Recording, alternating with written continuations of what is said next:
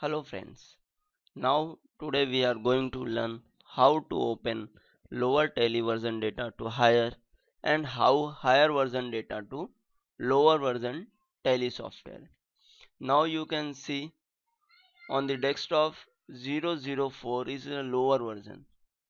That lower version you can directly open in tally ERP. You can copy the path, open tally ERP select company paste path using control alt v together.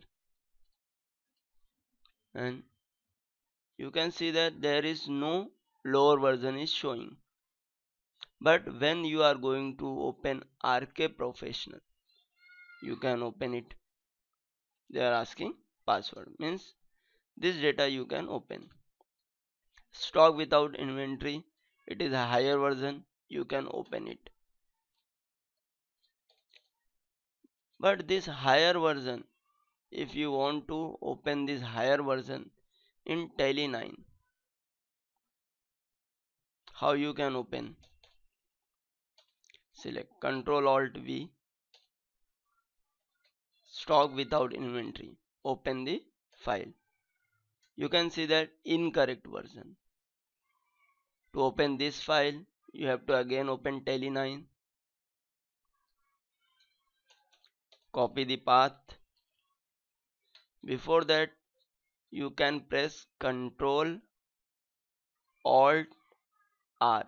Three button together. Control alt r. That is called rewrite company. Copy the path.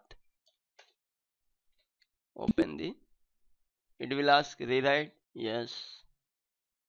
Now you can open the stock without inventory this is the way how you can convert lower version higher version into lower version and how you can open tally erp 9 data in tally 9 or any lower version. Thank you very much